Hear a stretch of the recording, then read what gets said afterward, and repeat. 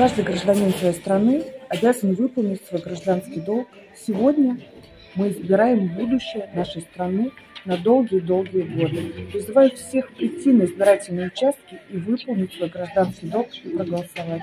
Голосуют граждане, достигшие совершеннолетия, но приходят на выборы даже дети вместе с родителями. Эта семейная традиция объединяет целые поколения. Мы выбираем свое будущее, будущее своих детей.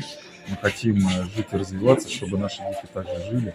Поэтому сегодняшний день это очень важно. Важно сделать свой выбор, выразить свою позицию, отдать голос. Анна Балиет, Щелковское телевидение.